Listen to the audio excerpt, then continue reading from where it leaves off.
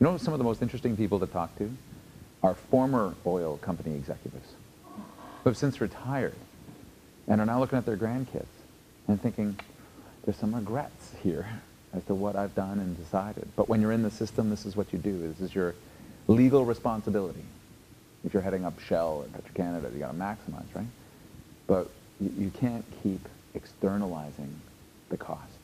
You can't keep saying that those costs will be picked up by somebody else sometime else. We pick up those costs now.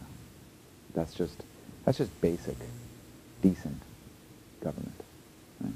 So, yeah, the, the, I take the model, the things that I've learned from people, uh, the successes we've had in creating massive conservation areas that work with the local people and stopping bad oil company projects and creating jobs and wealth at the same time as protecting the things that we care about in the environment. I take those lessons with me every day in this campaign and my work as a member of parliament. And uh, yeah, I wish I, I wish I could show people physically, bring them to the examples of how it works, because it works. And we've been told a lie that you have to choose.